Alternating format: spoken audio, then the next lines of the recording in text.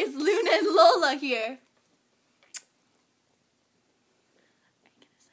Oh yeah. Um, this is behind the scenes.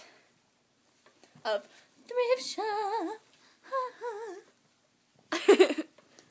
so, yeah. also called the magical making of thrift shop, which we will show you now. The magic and the making of thrift shop. First, we start by getting all of the bad clothes I have in my house and putting them in one area. As you see here. There we go. Look at all it.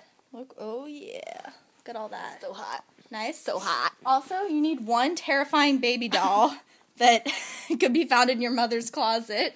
You dress that up also, complete with severed leg and male pattern baldness. Backwards, backwards arm. Yep, and then you dress it up like a Cleopatra flapper.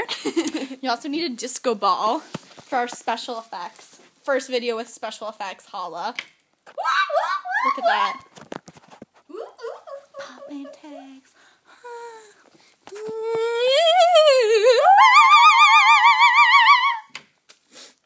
So, yep, you also need some swag and dance moves like um and yeah,